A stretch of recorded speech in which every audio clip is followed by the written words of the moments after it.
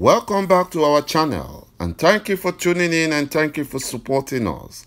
But if you are new to this channel and you haven't subscribed yet, please encourage us by doing so so that we can bring you the latest news as they come. And together we can support our great leader, Mazi Nnamdi Kanu, IPOB and Eastern Security Network to make our Biafran dream a reality and put the Fulani Janjaweed to shame. He said, a British Caucasian has led a protest to the United Kingdom Parliament to question the Prime Minister Boris Johnson over his refusal to intervene in the genocide going on in Biafra land. The white man who was flanked by people with Biafran flag alleged that the United Kingdom's prime minister is only after money and power. He also demanded to know why the British government has kept mute over the alleged oppression, killing, kidnapping, and molestation of Igbo people especially their women, by Fulani terrorist killer herdsmen all over Nigeria on a daily basis. The White Briton also urged the British Prime Minister to ensure that Mazi Nnamdi Kanu is immediately released as Mazi Nnamdi Kanu is a British citizen. The white Caucasian also stated that the United Kingdom government ought to have no relationship with the Fulani Nigerian government, which he described as the most corrupt government on earth. They have been bribing all the nations, bribing everyone in order to help them, you know, do their Fulani bidding and their Fulanization agenda. According to the White Briton, who protested against the British government and the Fulani Nigerian government in London, according to the White Briton, he said millions of Biafrans were slaughtered and starved to death by the British government. The British starved over 3 million Biafran children between 1967 and 1970 and they stayed behind those parliament doors and they know what is going on. Exactly the same is going on now to innocent Biafrans. And they are covering all up because they don't want the average British people to know what is going on. Something they cannot allow in their nation, they are allowing in Biafra land. Children are being murdered. Mothers are being raped every single day in this Nigeria and the British government keeps quiet. Catriona Laing, the British High Commissioner to Nigeria, does not give a damn. She continues to meet with the Fulani terrorist Nigerian government, killing people, killing Biafrans. Because money has exchanged hand, oil deals and businesses and contracts have exchanged hands. You know, according to the White Briton, he said the British government does not give a damn about innocent Biafrans being killed every single day. And they have one person who tries to free his people and yet he's being held in detention illegally and he's a British citizen. According to the White Briton, he said, why do they not hear about that? Why does the British public not hear about that? He said that he thought that the British government cared about Biafrans and Nigerians. But right now, with the events happening, they now know that the British government gives, they don't give a damn. You know, they don't give a damn. Because money is everything. Money and power is everything. People talk about third world governments being corrupt. This is one of the most corrupt governments on earth. According to the White Briton, he said, Free Mazi Nnamdi Kanu, that should be the British government priority. Free your British citizen because you are doing nothing. We have had enough of all this, according to the Briton. The Supreme Court Administrator of Imo State, Hope Uzodinjo, plans to forcefully acquire 2,000 land hectares for Ruga in Imo State. Hope Uzodinjo is forcefully trying to take hectares of land from Biafran residents for cattle settlements known as Ruga in Imo State.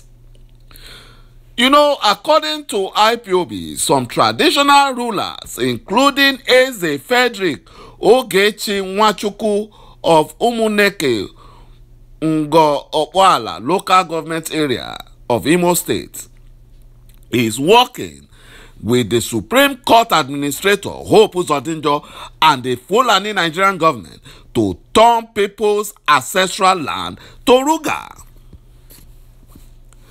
The attention of IPOB under the leadership of our great leader, Mazi Nnamdi has been drawn to the plot by Governor of Imo State. I don't want to call him governor. Supreme Court Administrator of Imo State, Hope Uzodinjo, to forcefully acquire 2,000 hectares of land at Ejemekuru towards Izombe, Agua, and Akabo in Oguta local government area of Imo State under the guise of building a meat processing factory.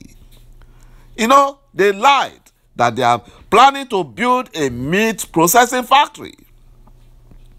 The communities rejected this disguise project, but the state is insisting on forcefully taking the ancestral land from the people.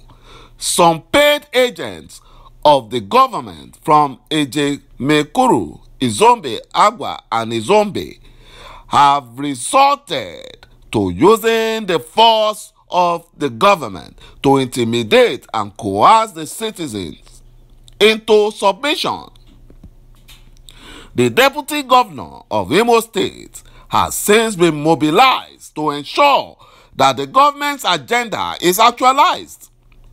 The governor, through his agents, are arm twisting the chief candidates in Oguta local government, precisely Izombe, using the proposal as a bait for them instead of allowing the rightful and people's choice to emerge. The government wants to use it as a bait to accomplish their anti-people agenda and favor the Fulani Janjaweed. And that is why there is lots of militarization in that area of Imo State. You know, the Imo State government is using acceptance of Ruga as a criterion for whom becomes a traditional ruler. The Imo State government is planning another massacre of Oguta local government Biafran citizens based on the censorship issues instead of allowing the wish of the people. IPOB gathered that the people of Izombe are comfortable with a certain estate developer seeking 300 acres of land for industrial development, but the company should ensure that this is not a ruga in disguise. The community will resist any deviation from the planned estate development. You know, IPOB warned his Highness Eze Frederick Ogechi Nwachukwu of Umuneke of Umbo Opuala local government area of Imo State that is causing harm and pain to the people of Umuneke Ngo who are Biafrans. He was collaborating with the Fulani Janjaweed terrorist people to cow business in the local government, thereby using the Fulani's Janjaweed to intimidate the citizens of Umunekengo and IPOB is using this medium to relate to him to stop intimidating Biafran people of Umunekengo and her environs because IPOB volunteers will not allow him to continue if any harm comes to the people of Umuneke from Fulani terrorists. The Eze must be careful in dealing with the Fulani terrorists and he must move Fulani out from Umunekengo before IPOB comes to meet him. He won't get easy at all if the Fulani terrorists unleash terror, attack anywhere in Ungo, Opoala local government, he, the Eze and his cohort will regret their life in this world. They will regret. Enough of all these Biafran saboteurs causing problem in Biafran land. Enough. You know, youth from Nekede community in Owerri West local government area of Imo State have contributed over 1.5 million naira to rehabilitate Nekede Umuoma Futo Iheagwa Trunk B Road. This was part of the road said to have been constructed by Governor the Supreme Court Administrator of Imo State, Hope Uzodinjo, which was commissioned by the murderer-in-chief Buhari during his recent visit to Imo State. The youth chairman of the community, Mr. David Oguoma, who spoke with journalists on why they embarked on the project, said they won't fold their hands and watch the road, the only road linking them to other parts of the metropolis, remain in perpetual state of dilapidation. Thank you, my brothers and my sisters, for watching this video, and bye-bye for now.